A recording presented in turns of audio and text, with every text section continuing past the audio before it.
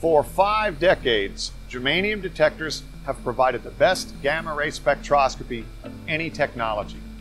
Germanium detectors, however, are not always easy to get places and do things with. Here at PHDS, we are repackaging that fantastic technology in a manner that makes it extremely versatile, easy to have, manage, ship places, and do things with. Let me show you an example of how easy it is to get spectroscopy information out of this fulcrum detector. I simply push the start button, and then some isotopes come along, and we begin to see identification in the gamma ray spectroscopy on the screen. Now I see the 186 keV line identifying uranium-235 here.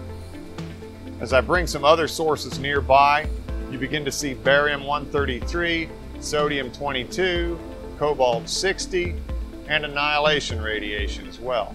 If you're capable of operating a mobile phone, you can operate the fulcrum detector. The fulcrum detector shows the same gamma ray spectroscopy you would have from a liquid nitrogen cooled laboratory germanium detector. However, if you want a simpler output, switch to this other screen and you can see exposure rate, count rate, and the labels showing you which isotopes are there. Now that we've seen the fulcrum detector identify isotopes, let's see one of our imaging detectors identify and locate the isotopes.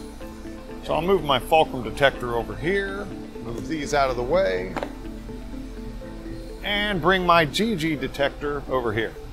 So now let me bring in a cesium-137 source, place it here, and start the GeGI data acquisition. Almost instantly, we see the identification of the cesium-137 source. And then in the right-hand screen, you can now see already, and just took a few seconds, it's actually located the source. You can see it right on top of the source here. And so with these demonstrations, you can see how PHDS is redefining germanium detector applications.